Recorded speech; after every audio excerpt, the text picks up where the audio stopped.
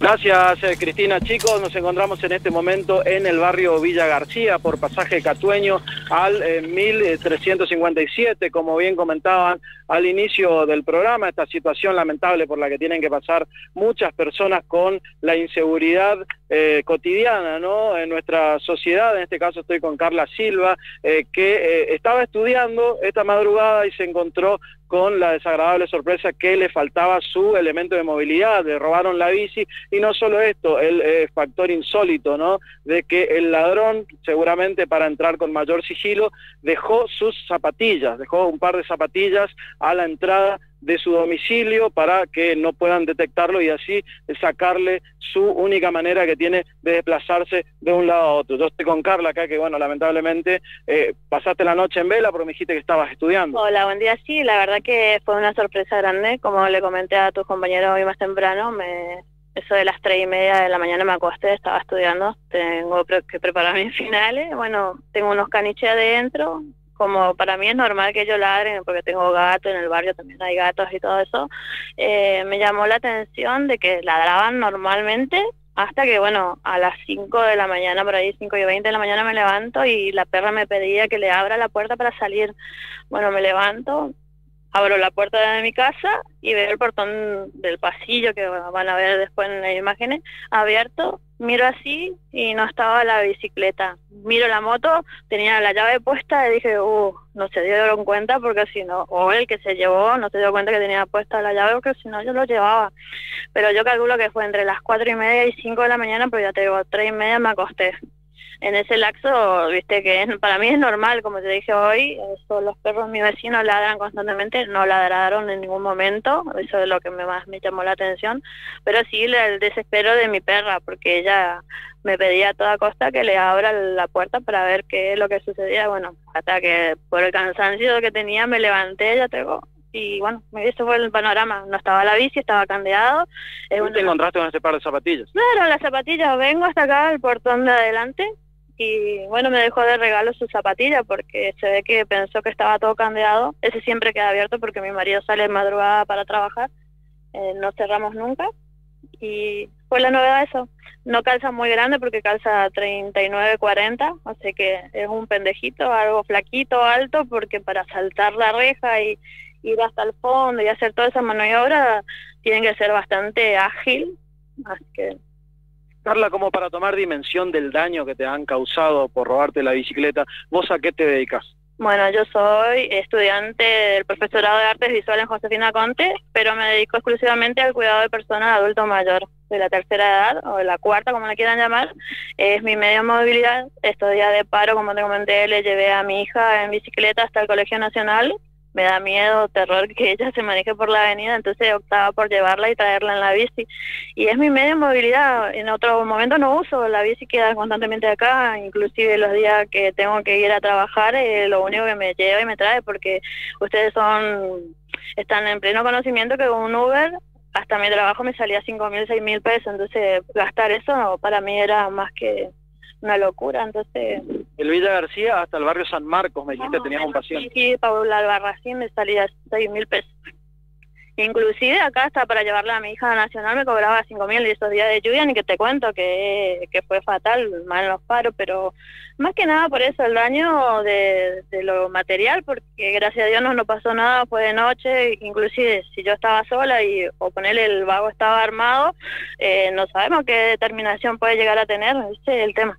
La última de mi parte, las características de la bicicleta y por ahí si alguien sabe algo, ¿cómo se puede comunicar con vos? Una bicicleta Nordic, rodado 29, negra con roja, tiene un detalle en la parte de atrás del asiento, tiene un juego de luces que eso lo uso para cuando oscurece y está forrado con un, en, o sea, tiene un forro negro porque la bici en sí es roja todo, así como mostré en la imagen, pero tiene un forro que para protección mía, porque viste que tanto bicicletear, por ahí el dolor y todo eso, pero esas son las características. Y esta nuevita, porque lo mandé a hacer de cero otra vez hace dos meses más o menos, o sea que se llevaron una bici prácticamente nueva.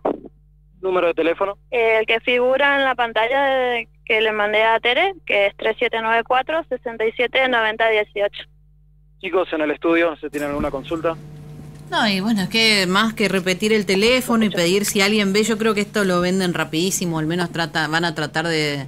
Eh, vos cuando decís es un, pibe flaco, es porque te imaginás a la hora de saltar la reja tiene que haber sido así o porque ya en el barrio tienen alguno identificado.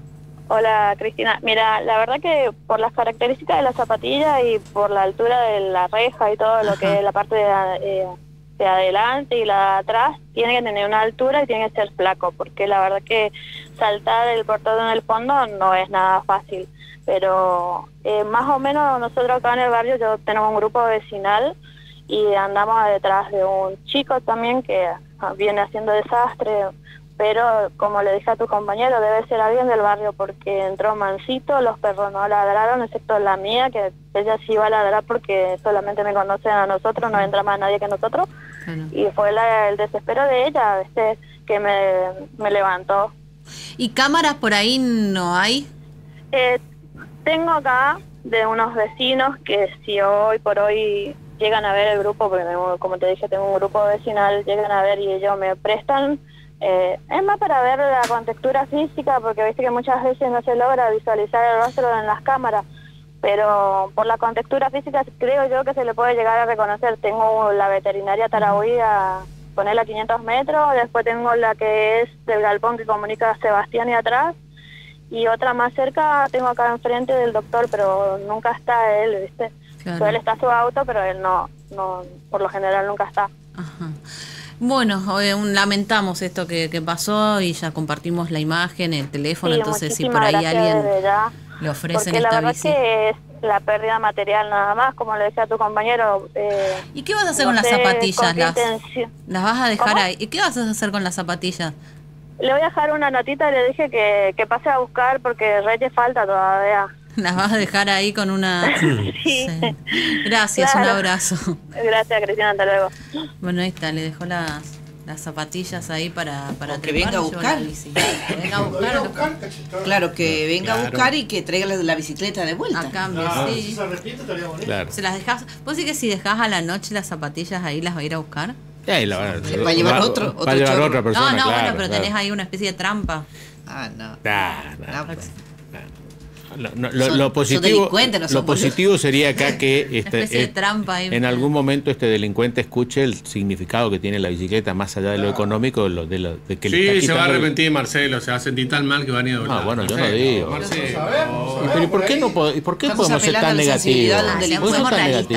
Eh, era tan, tan improbable como que caiga en una trampa si va a buscar la zapatilla, como que se arrepienta, le toques el corazón. No, o que en todo caso que aparezca una persona y adquiera la bicicleta. Bueno, eso puede ser. Y que, entienda el valor que tiene esta bicicleta más allá de lo económico. Igual también pongo mi duda porque la mayoría hace tipo. no dije nada, retiro todo No veo, no escucho, no. ¿Viste los monitos, eso que es ciego, sordo, mudo? ¿Viste? Ah, Vos decís, ¿cómo puede ser una bici que cuesta, no sé, 300 mil pesos? Me la estén ofreciendo a 50. No, no, no. No, la compres, no la Tengo suerte, soy una persona, ¿cómo decís? Eureka, una oferta. Claro, de última, no sé cómo puedes hacer para que avisarle inmediatamente a la, a la persona, porque no sé si le decís no, se va a otro lado, no es que no sé cómo podés retener, viste, sin llamar la atención. Porque la policía se tope así con la bicicleta y uh, encontré una bicicleta robada. ¿eh? Pero bueno, ojalá, qué sé yo. Son todas improbabilidades. Son improbabilidades. A veces sí funciona que cuando, que a veces alguien por ahí el que compra no la devuelve, o sea, compra ya sabiendo. Pero a veces ves en las publicaciones, no necesariamente el market, viste, de Facebook, ahí ya está como muy eh, lo primero que hacemos cuando nos roban algo es ver a ver si está publicado ahí. Pero hay muchos grupos de WhatsApp que son grupos, eh, eh, no sé si cerrados, pero tienen una X cantidad de personas y por ahí ahí empiezan a ofrecer y a veces alguien ve y dice, ah, mira, esta es la que vimos en la tele que le robaron y ahí a veces hacía, no te digo que aparecen las cosas o tenés alguna pista, pero... Bueno, ojalá sí, ojalá se produzca el milagro de, Navidad que algo Ojalá, por favor, porque esta chica necesita. Bueno, 8 y 20 de la mañana. Gracias, Roberto. ¿Cómo estás, Miguel? Bien. Eh, bueno, algunas cuestiones. Ayer a la mañana hubo una conferencia